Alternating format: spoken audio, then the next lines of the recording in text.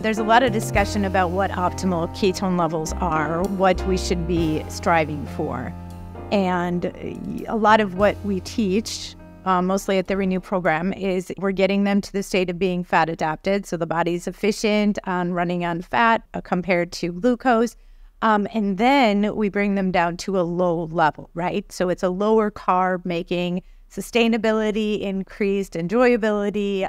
So we shoot for low level, but but what do you know or what do you think about more of an optimal level of ketones to try to achieve? I think that was part of what I was getting to. That went on a little tangent yes. there.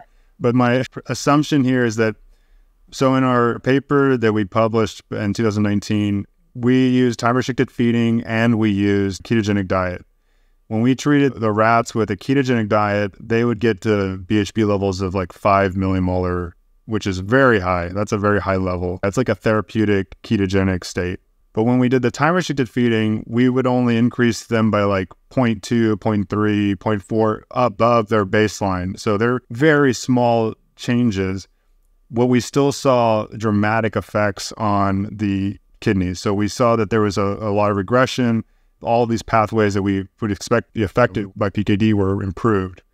So what that kind of implied to me was okay, there's some switch that's there, and BHB could be the marker, but it might not necessarily be the end all be all. It could also mean that small changes in BHB are sufficient to cause big changes in the kidney. So it could be both. I've only seen one study that's ever looked at specifically they did a cat scan or PET scan looking at you know where does BHB get consumed but they radio label the BHB and then they give it to an animal.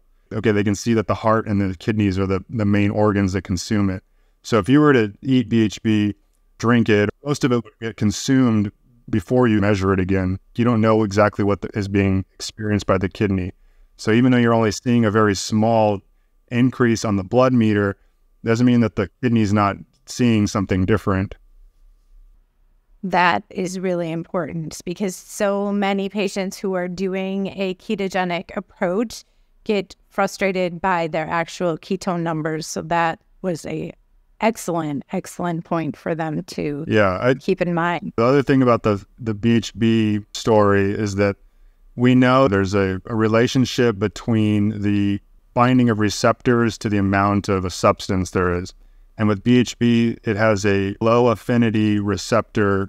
Um, it has a few different receptors it binds to, but they're low affinity, meaning that they don't get activated until you reach one millimolar or like 0.5 oh. is like, I think you get 25% activation and then you get to okay. one millimolar and then you get half of all of them activated. And then when you get to like two and three millimolar, they're like all turned on. The known receptors for BHB fall into that category. If that was the goal, then yes, higher BHB levels would activate those receptors. And those are specifically the ones that have been studied the most are located on immune cells. So if you wanted okay. to activate those immune cells specifically, then you would need to get those BHB levels up to get to the to that activation level. If you're talking about processes that we know a little less about, but they're all intracellular, and so those don't require the same concentrations of BHB necessarily and certain cells could have the ability to concentrate BHB inside of them to get more access to BHB that they wouldn't have if the other cells would see.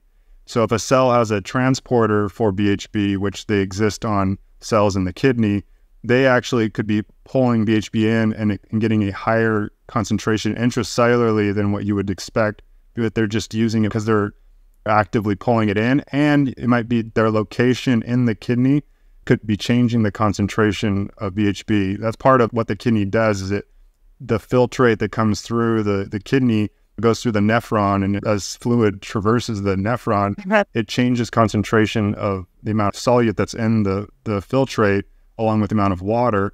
And so it's different portions of the nephron, they actually they're experiencing different concentrations of solutes. And so it could be that at some portion of the nephron, they're much more susceptible to um, pulling in BHB because the concentration's changing.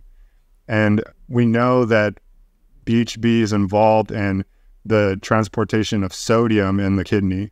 So part of what BHB is is exchanges sodium for BHB.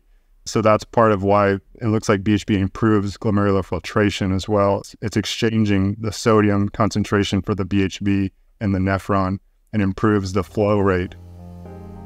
Interesting.